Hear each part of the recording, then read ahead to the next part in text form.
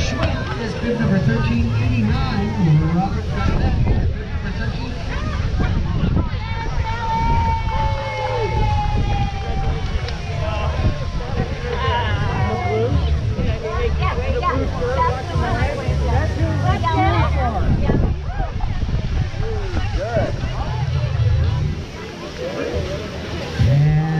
crossing the finish line.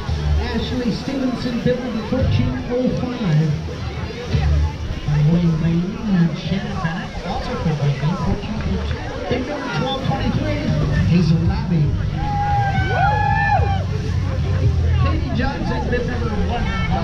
clock is being set over to the marathon time.